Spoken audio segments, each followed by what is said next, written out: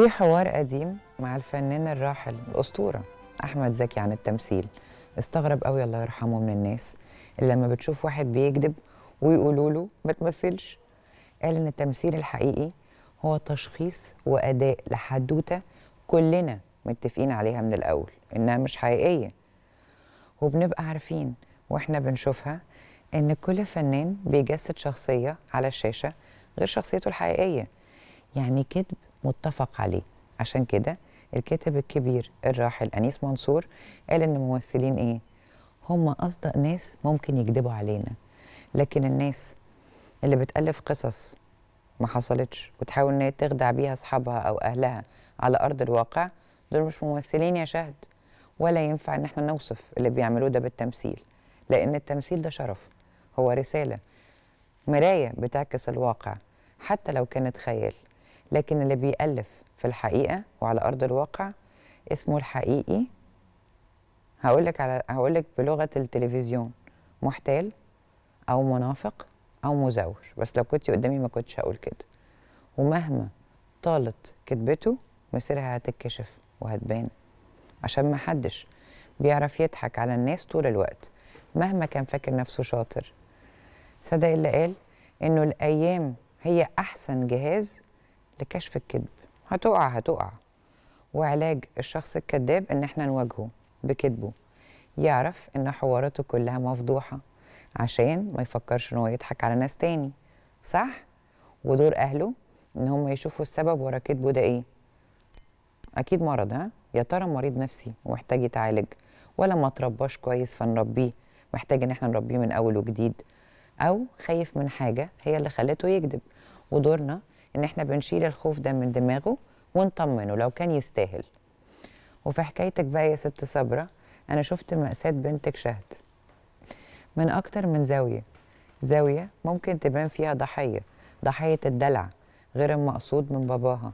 لما فكر إنه لما هو يشغل بنته بالموبايل وهي عندها ست سنين هيلهيها. لكن اللي حصل إن الموبايل لهاكوا أنتوا عن تربيتها. متزعليش مني. وخلاها إن هي تتعرض لمحتوى وعالم أكبر من سنها بكتير. بشكل قضى على طفولتها وخلاها تكبر بدري وفتح عينيها بزيادة عن اللزوم على الدنيا.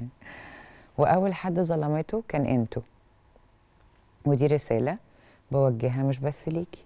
لكن لكل الناس اللي بتتفرج علينا دلوقتي وممكن يكونوا واقعين في نفس الغلط مع أولادهم أو أطفالهم أو المراهقين اللي عندهم في البيت وارد في يوم تتكرر معاهم تاني مأساة زي مأساة شهد أو يشوفوا مصيبة أكبر من اللي شفناها النهارده في حكايتك.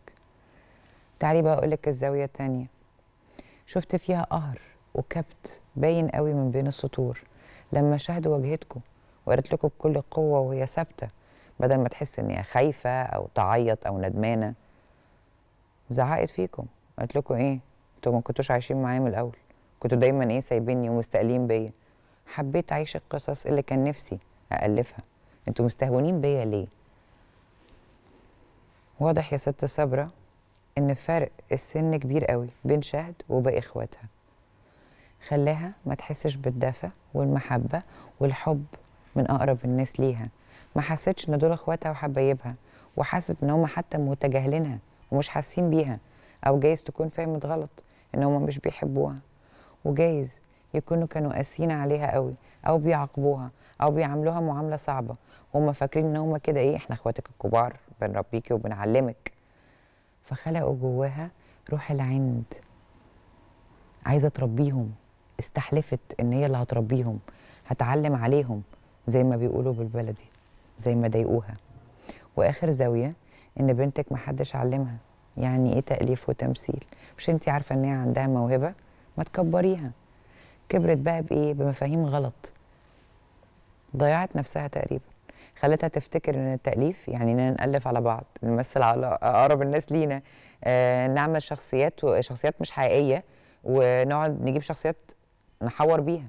وإحنا فاكرين إن دي شطارة. المفروض نسقف لها. ونسبة كبيرة جايز تكون شهد حست بموهبتها في التأليف والتمثيل ومحدش اعترف بيها أو استقلته بيها زي ما قالت. ومحدش حاول إن هو حتى إيه ينمي الموهبة الصغننة دي يمكن تكبر. فقررت إن هي تعبر عنها بالشكل الغريب ده. وقالت لكم أنا بكرة هدخل معهد فنون مسرحية وهبقى ممثلة وهكتب قصص وأفلام. كل الشخصيات دي هتبقى بداية جمهوري وهيخلوني ترند حتى الترند طلعت فاهمها غلط. هي اتعلمت إيه؟ زيها زي شباب كتير. موهومين مش موهوبين. فاكرين إن إحنا لما نعمل fake accounts أو حسابات وهمية ندخل نعلق عندنا ونقول كلمتين حلوين يبقى إحنا كده هنتشهر هنبقى نجوم هنبقى trends مع إننا في الحقيقة عاملين زي اللي بيقول نكتة بايخة وبيضحك عليها لوحده لأنه دمه تقيل.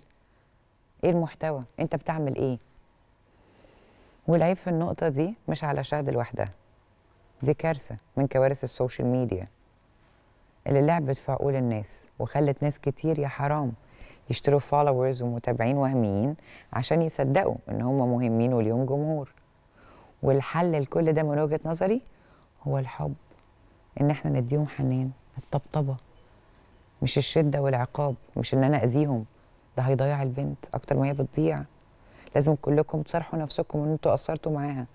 تعترفوا إنكم جزء من المشكلة. ولازم كلكم تبعدوا عن الضرب والإهانة والشتيمة. ضربناها عشان نفتح موبايلها بالعافية ما بالراحة. خدوها في حضنكم ممكن تحضنوها.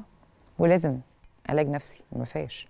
ولازم أهل الدين خليها تروح دروس دين أو تتعلم أو تقعد تقرأ كتاب اللي تقرأ القرآن الكريم واقعدي فهميها اتكلمي معاها بالراحة.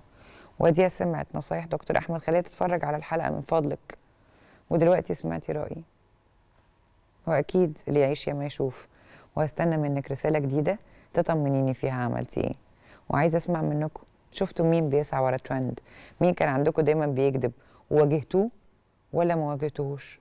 ومين كان فاكر إن الكذب ده تمثيل؟ وهستناكم في قصة جديدة وحلقة جديدة. بس تكون قصة حقيقية. bye bye.